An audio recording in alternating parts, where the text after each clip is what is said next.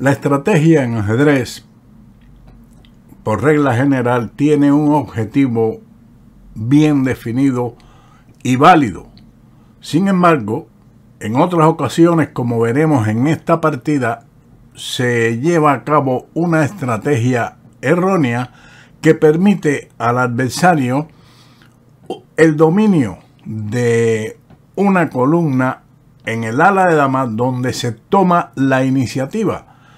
A través de ella penetran las piezas pesadas en el campo de las blancas y posteriormente en la primera fila donde llevan al rey de las blancas al territorio de las negras con el fin de conjuntamente con los caballos y los peones ejecutar el jaque mate en ese campo. Por lo tanto, hay que tener cuidado con las estrategias que se siguen desde la apertura y en el medio juego, porque pueden ocurrir cosas como las que veremos hoy en esta fascinante partida que no deben perderse. Las blancas iniciaron con el conocido E4, a lo que siguió la simétrica E5, una lucha clásica por el centro, caballo F3, caballo C6 y alfil C4. Intento de establecer una apertura guiocopiano, pero las negras deciden la defensa de los dos caballos contra esta apertura en lugar de jugar alfil C5 y el blanco no entra en las líneas o vías teóricas del ataque fegatelo y sencillamente juega sólido en el centro con D3. A6, una jugada poco usual pero necesaria con el fin de llevar su alfil a C5 y posteriormente darle hospedaje en A7 si es necesario. Siguió el enroque y H6. Estos dos movimientos, por regla general, se lo enseñamos a los principiantes. No muevan innecesariamente sus peones de H y de A, puesto que eso conlleva a pérdidas de tiempo. Pero el ajedrez, la estrategia y la teoría han ido evolucionando y si esos movimientos tienen claros objetivos estratégicos y tácticos, o de lo contrario también pueden tener esos elementos ocultos, entonces son válidos. Por lo tanto, la partida continuó con A4.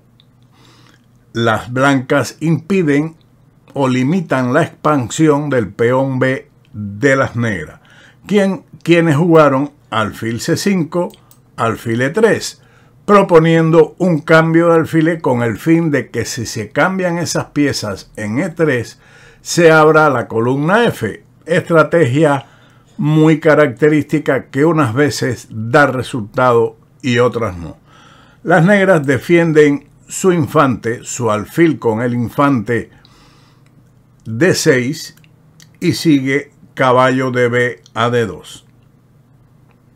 Las blancas han completado ya su desarrollo, por lo que tienen, como podemos ver en el análisis, en la barra de análisis, una mínima ventaja típica de cualquier apertura.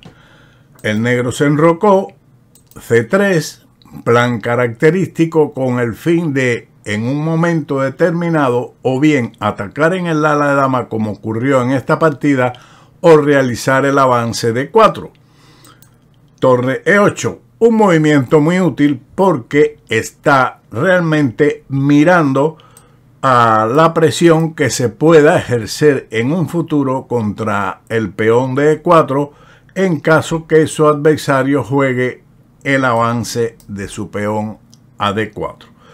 Pero las blancas siguieron otra estrategia que es B4. La idea es no solamente atacar el alfil que lógicamente se marchará, sino después desalojar al caballo de C6 que ejerce control sobre el centro del tablero.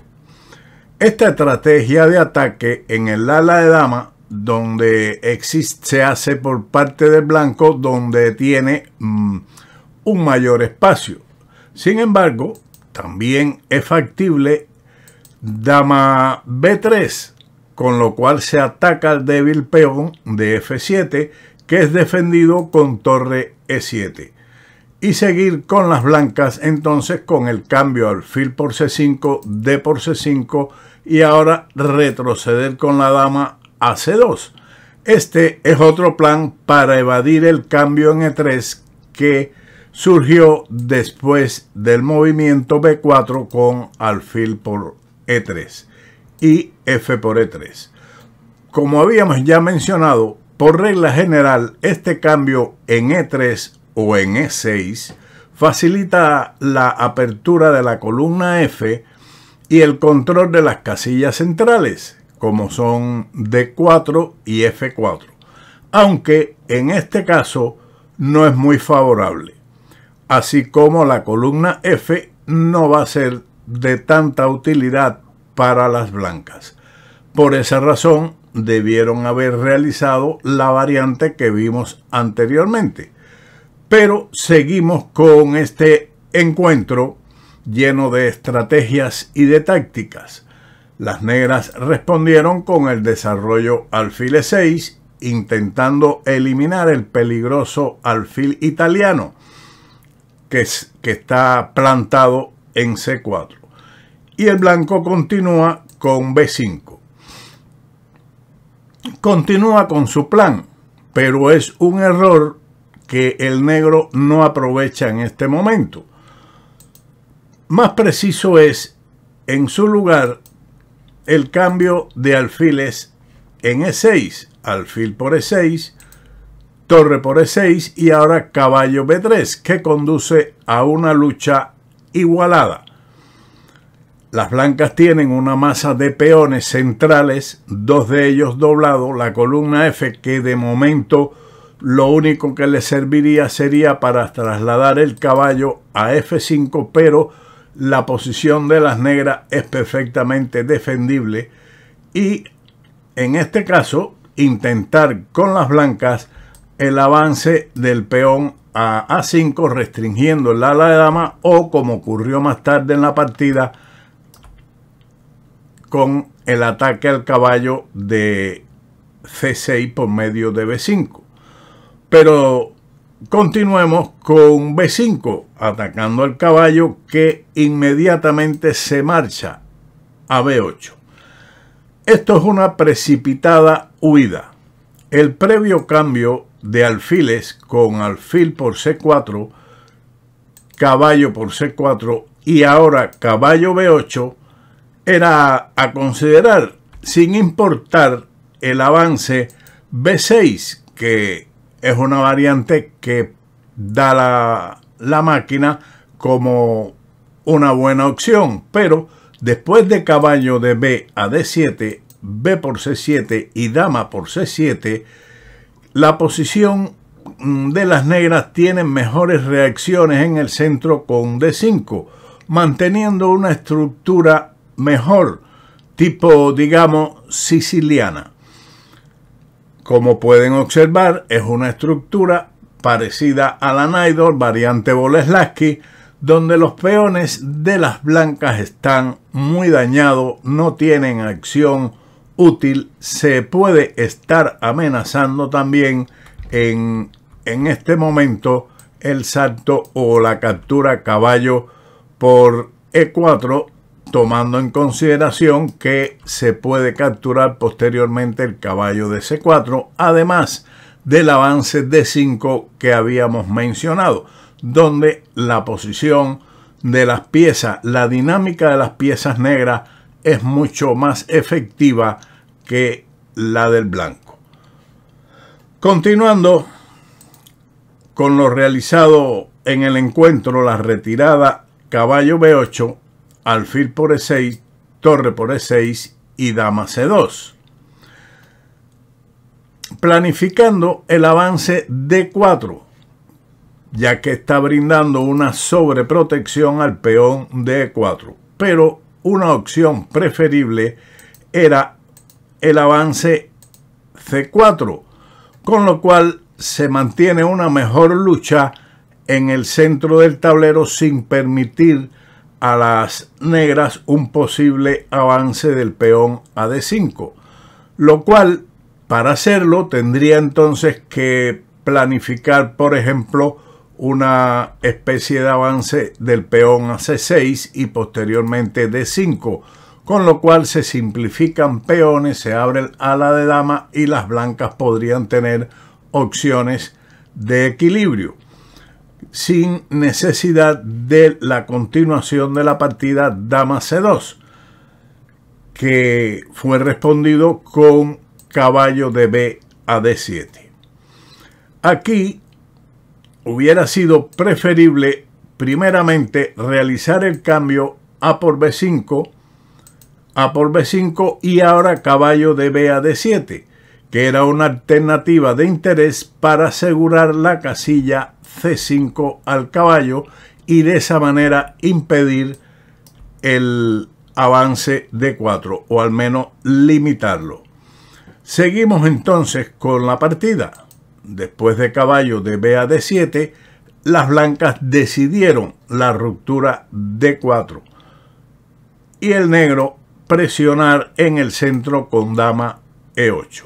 Una jugada muy lógica, natural, que está amenazando inmediatamente la captura en D4 para capturar el peón de E4, ya que tendría el caballo, tendría ahí el caballo, la torre y la dama atacando al mismo.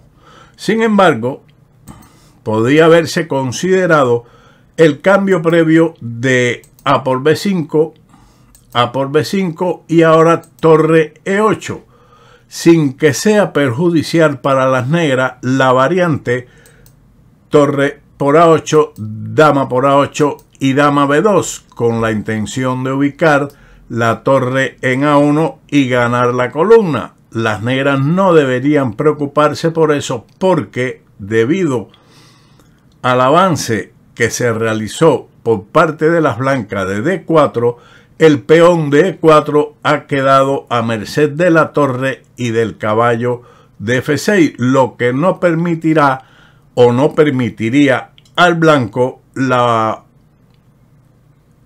oportunidad de apoderarse de la columna A debido a la jugada E por D4 y el peón de E4 caería con gran ventaja de las negras. Por lo tanto, era una alternativa a considerar.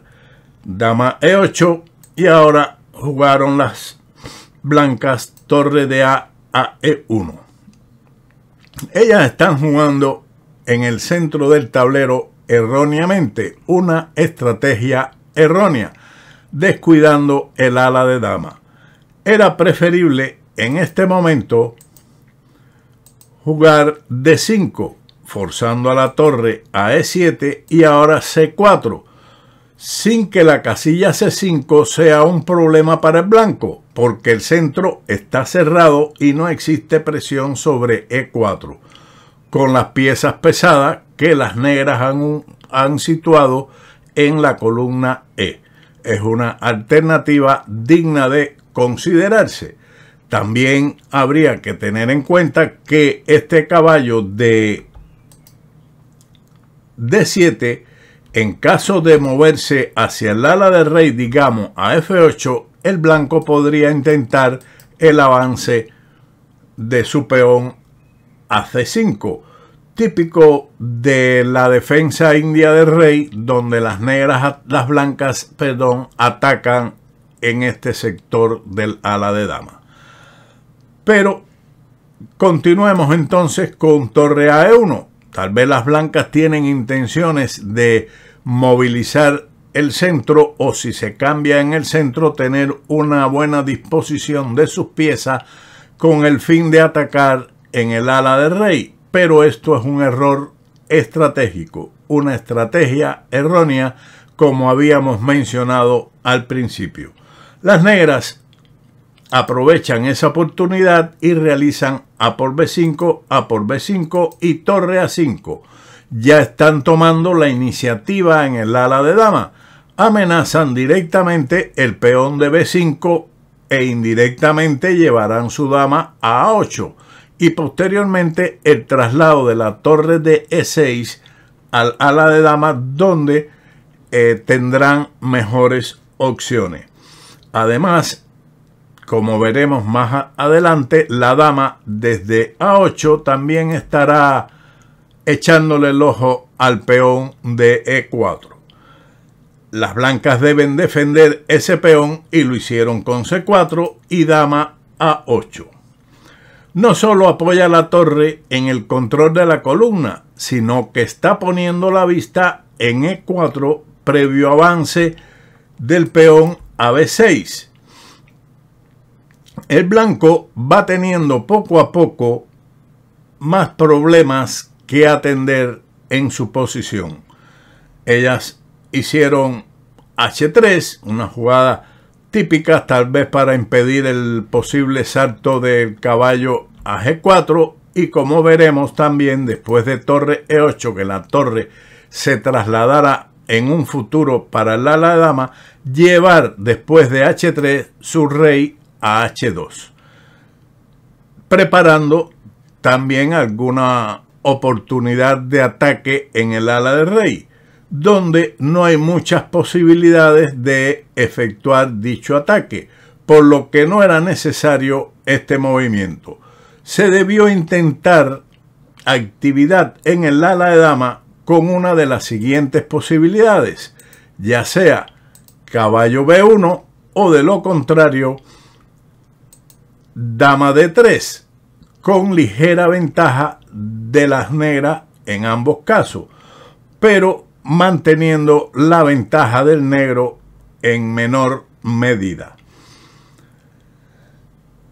Ahora, después de la jugada de la partida rey h2, las blancas se van a ver en peores dificultades porque el negro va a aumentar su ventaja con el siguiente movimiento, B6. Como mencionamos, no solamente pone su mirada en el peón de E4, que ahora está bastante bien protegido, no hay peligro, pero también poniendo límites al avance del peón blanco a C5, típico de estas posiciones. Así que esto es un problema grave para las negras quienes poco a poco, como mencionamos, se van metiendo cada vez en mayor dificultad. Aquí, en lugar de B6, también era de considerar eh, la inmediata jugada o intermedia jugada torre A2, dama B1 y ahora B6, con la idea de jugar dama A4 y torre de E a A8, con un total dominio de la columna A.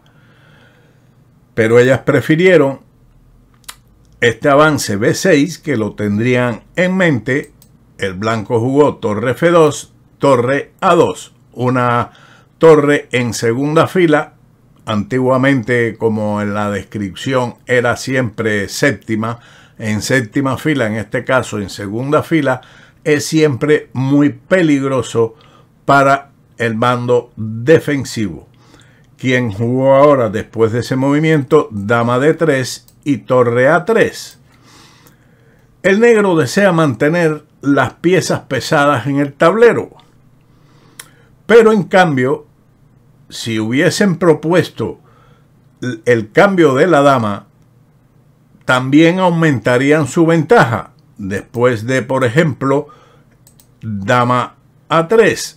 La propuesta de cambio de dama les favorece porque después de este cambio, dama por A3, torre por A3, rey G1 y torre de E a 8, las negras tendrían un gran dominio de la columna A, lo que le permitirá ir poco a poco aumentando su ventaja y el final seguramente que lo ganarían. Pero el negro decidió, tal vez por cuestiones de apuro de tiempo, jugar torre a 3 y mantener más preocupaciones en el juego de las blancas, quienes ahora se retiraron a B1, dama A4 y caballo H4. La oficina de Kasparov no es útil en este momento. Lo que hace es alejar el caballo hacia, digamos, hacia la nada. Mejor era tomar medidas con torre de F a E2 y mantenerse a la espera. Después del salto caballo H5, doblaron o triplicaron las piezas pesadas con torre A8, caballo F5. Como vemos, el caballo aquí no pinta nada. Sencillamente amenaza caballo E7 y llevarlo a C6 o a D5. Pero su adversario juega rey F8 impidiendo ese plan de caballo E7 y caballo C6 para que esta pieza no mejore o haga funciones en el ala de dama. Siguió torre de F a E1 y torre A1. Se podía haber jugado torre A2 también, manteniendo la presión en la segunda fila e incluso era más fuerte. El negro no teme el paso al final con el cambio de dama, comprendiendo que es favorable para él. Después de la jugada de la partida torre A1, el blanco llevó su dama a D3. El paso al final, simplificando un par de piezas pesadas, era una defensa mejor. Por ejemplo, como mencionábamos, dama por A1, dama por A1, torre por A1, torre por A1 y ahora G4, que de todas formas es una posición ventajosa para las negras, pero ofrece al blanco mejores oportunidades defensivas. Tras la jugada dama d3, continuó dama b4, torre por a1 y torre por a1. El blanco, en una posición muy difícil, realiza el avance c5, que es un error, un movimiento desesperado, tal vez por la escasez de tiempo o ausencia de contrajuego o pudiéramos decir un plan defensivo en una posición compleja y difícil. Siguió el negro con B por C5 y ahora caballo C4. Error. Esta jugada por regla general en la India de Rey cuando se ataca de 6, etcétera, o otros peones en el ala dama es un movimiento bueno, pero ahora es un error que lleva a otro. ¿Qué es lo que ocurre generalmente? Aunque no se puede dar un consejo. Por ejemplo, trasladar el caballo al ala de rey para mantener defensa sobre su monarca con caballo F3, dama B1, dama por B1, torre por B1, con lo cual el peón de B5 caería, sería igualmente un final desesperado. Las blancas tal vez mantuvieron sus esperanzas de ataque con caballo C4, pero enseguida entró en la retaguardia la dama conjuntamente con la torre. Torre 2, dama G1. El jaque con la dama en H1 también era muy efectivo. Rey G3 y ahora la posición prácticamente de una forma forzada, por decir así, conduce al mate. Tras caballo H5 jaque, rey H4, caballo D a F6. Se amenaza el fuerte avance G5, que es mate. Por lo tanto, el blanco respondió con caballo por H6. Ya esto es una desesperación. Pero las blancas no hicieron caso de ese caballo y jugaron dama H2, amenazando el mate en G3 defendido por el caballo de H5. Caballo F5. Este caballo se balancea en la oficina de Casparo, pero ya no es efectivo Torre F1 amenaza el sacrificio de la torre en F5 y destruir la oficina de Kasparov. G4 protege el caballo, pero el sacrificio torre por F5 decide inmediatamente y lleva al mate. Después de E por F5, dama G3 jaque, rey G5 y caballo H7 jaque, donde las blancas abandonaron ante el inminente mate después de rey por h5 y dama por h3. Una fascinante partida donde hemos aprendido muchos elementos tácticos, estratégicos, de la apertura del medio juego, de la penetración de las piezas pesadas en la, en la octava fila, en este caso la primera fila de las blancas y finalmente este hermoso jaque mate. Sin más, como siempre, nos veremos en otro vídeo de ajedrez con Bowdy. ¡Chao!